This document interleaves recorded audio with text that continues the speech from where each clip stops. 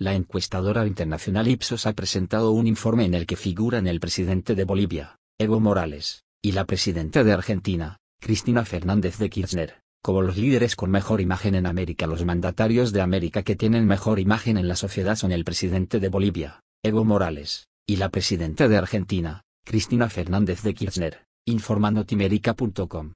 Según el estudio de Ipsos, la gestión de Morales cuenta con un 75% de aprobación, mientras que la de Kirchner es del 49%.